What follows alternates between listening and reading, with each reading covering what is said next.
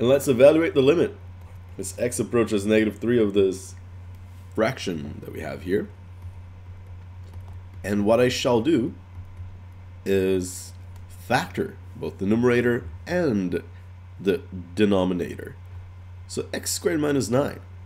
Of course, be, um, I will be assuming here that you are uh, comfortable with factoring. If not, check out our website and uh, type in factoring and you shall find out a lot of find a lot of videos. So x squared minus 9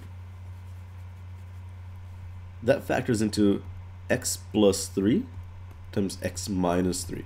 It's a difference of two squares, right? How do I find the 3? Just we take the square root of 9. So x plus 3 times x minus 3. That's it. What about x squared plus 3x?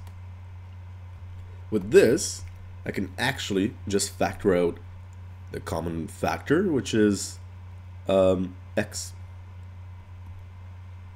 That's it. And what do I get over here? x squared divided by x is just x. 3x divided by x is just 3.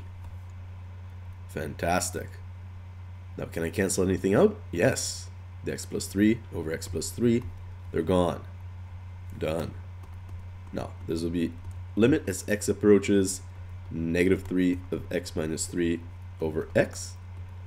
Initially, I couldn't really plug in the negative 3 right away, right? Because I would have gotten 0 in the denominator. And that's just not allowed.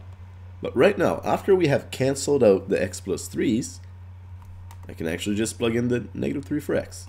So I get negative 3 minus 3 all over negative 3 Negative 3 minus 3 is negative 6 divided by negative 3. Negative, negative, positive. 6 divided by 3, positive 2. And that's it.